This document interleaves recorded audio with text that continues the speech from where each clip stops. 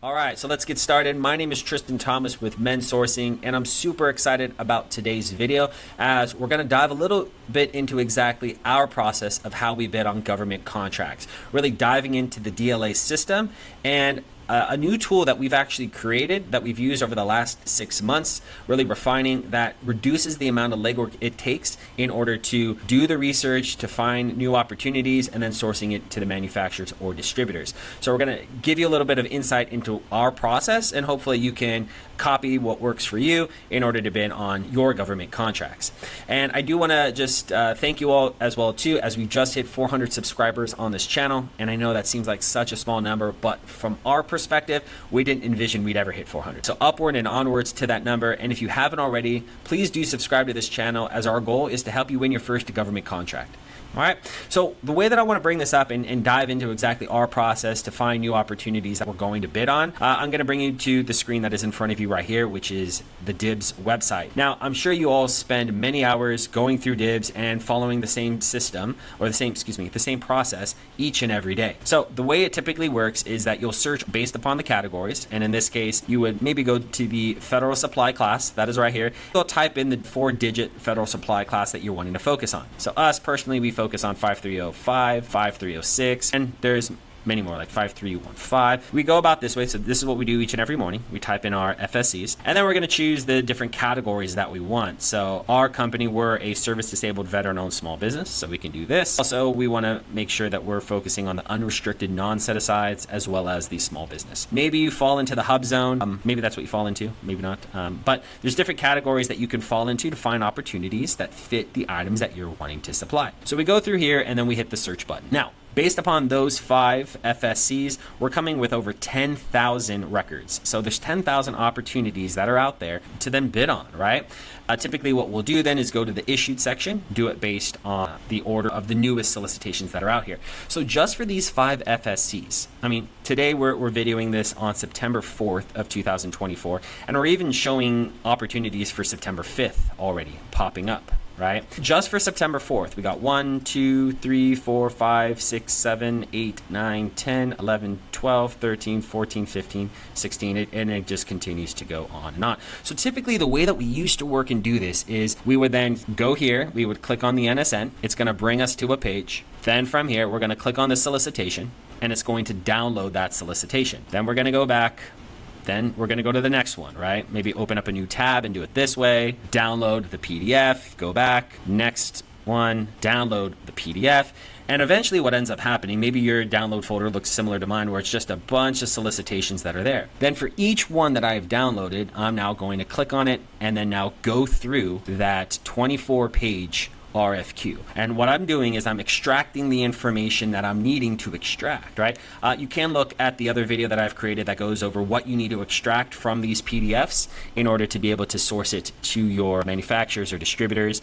But there's tons of content that you need to extract each and every time, right? And if you're doing this 10, 15, 20 times per day, every single day, you're spending about two, three hours is, is what we measured, two, three hours per day just researching the information in order to then send out that information to the manufacturer and say, hey, can you make this item? So we thought that there had to be a better way as this was a main pain point for us. So what we've done is we've created this system now. What it does is it takes all the information that you would typically go through through DIBBS, right? Going through this, going to the RFQ section, and instead of me just typing in all these numbers, right, and doing it this way, uh, it's like 5306, 5305, 5310, and then clicking on the same check marks each and every time. What we've done is we've created a system where it's going to provide you the newest opportunities that have come out for that day. And what it's doing is it's downloading all of the, the solicitations that are out there for the day and extracting all the information from the PDF to then send into your inbox an email that looks like this. Just a generic email that looks like this. So it says all SB, which means all small business items for the day of August 30th. 2024. You get this Excel file that comes to your inbox, and what it's doing is it's showing you all the opportunities based upon the criteria that you were looking for. So in this case, for August 30th, 2024, there were four opportunities. As you can see, there's one, two, three, four tabs. Each tab uh, represents one solicitation that is out there.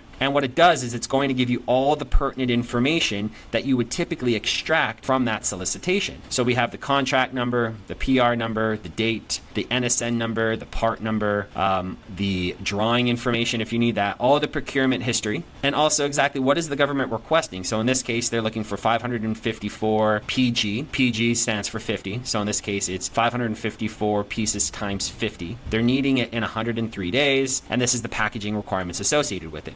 So instead of you downloading the solicitation on August 30th, it's already going to be inside of your inbox, ready with all the information already extracted. Go down to the next solicitation, same information is there for the next request for quotation the government is asking for. So the way that we go about doing it is each and every day we receive an email such as this and it gives us all of the information. So what I can do is open up that Excel file and I can say, okay, this item right here, part number is this item. All right, uh, the government is needing 1,152 pieces and they're needing it in 104 days. Now I can go to manufacturers that I know can make this piece and say, hey, can you provide me a quote for 1,152 pieces? I've just saved myself 10, 15 minutes just pulling the information.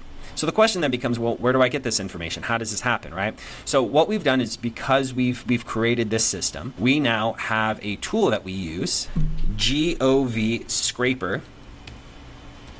And I'm going to put the link below in the um, uh, video notes that's there. But you would go to this link, govscraper.com, and you would just fill in the information of the items that you're wanting to extract. So the first question says, what FSC codes or type of parts would you like to find opportunities for? Well, all the FSC codes are here for you. All right, so let me give you an example 5305, which are screws, 5306, 5310, which are nuts and washers, 5315. Right, and I can keep doing this, rivets, anything that you're looking for. All FSC codes are here. Then I move to now step number two. Now I'm going to select, just like I would on the DIBBS website, I'm going to select the categories that I'm wanting to pull the information from. Well, in this case, I'm wanting service disabled veteran owned small business. Maybe it's a woman owned small business. Um, the unrestricted items as well as all of the above maybe small business. So I'm pulling all of this information. So what the system is going to do now is based on those FSCs, give me an Excel file daily of all of the opportunities that match the criteria that I set here. I move to step three and I'm going to put my email address in. So in this case, Tristan at mendsourcing.com. So you put your email address in here. You want to click on step number four. And then in real time, what it's going to do is pull the information from DIBBS and say, okay, how many opportunities are out there for the criteria that you're asking the system to pull? Now, this may take, like it says, two or three minutes for it to actually pull that information. So please don't leave this page, and it's going to take a little bit of time. But once it does, because it's pulling it in real time, it's going to give you the amount of opportunities over the last seven days. So in this case, what you might want to do is go and uh, maybe grab a cup of coffee or whatever it might be, because again, it's it's extracting all of that information, looking up the details based upon the criteria that you put in there. Give it a few more seconds. All right, so in this right here, what it's showing us is over the last seven days through DIBBS, based upon the criteria that I put out there, there are 24 small business set aside opportunities that are out there. There are 10 for SDVOSBs and one for a WOSB, meaning that there are 35 total opportunities over the last seven days that I can bid on. And that Excel file that I'm going to get on a daily basis will have each and every one of those opportunities. So this is a great tool that you can use. Like I mentioned, it saves us two to three hours a day. It's definitely a, a, tool that you can use as well too. So to gain access to this, all you would do is you would put your information. So Tristan Thomas, I'll put my phone number here of one two three four five six Mend Sourcing, one two three Main Street. Let's just say Los Angeles, CA nine zero zero nine. Uh. And then all I need to do then is just go here and then proceed to it. What it's going to do, like I mentioned, it's going to give you opportunities daily. So each and every day you're going to get a brand new email automatically.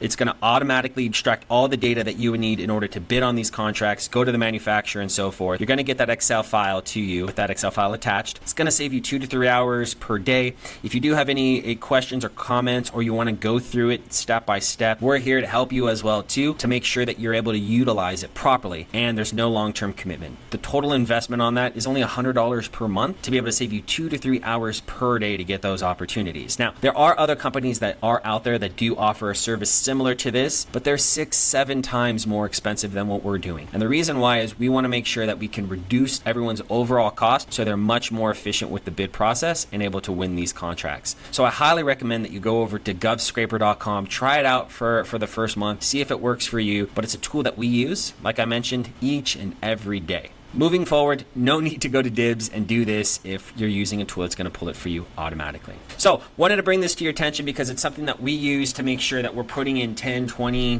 bids per day and the reason why we're able to do that is because we're much more efficient in how we're actually getting this information. If you have any questions or comments, please uh, do place those uh, below this video. I will make sure that I do respond and reach out to us if you have any questions. Again, my name is Tristan Thomas with Mend Sourcing. Uh, if you haven't already, please do subscribe to this channel. But we are here to help you with government contracting, uh, especially with this web uh, website, DIBBS, uh, helping you with these government and, and DLA contracts. So please do subscribe to this channel and we'll be out with another video next week. Until then, thank you and you have a good day.